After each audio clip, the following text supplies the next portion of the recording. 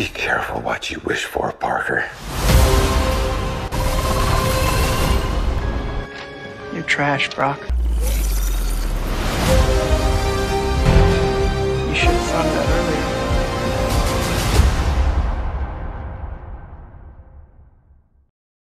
Yeah, great.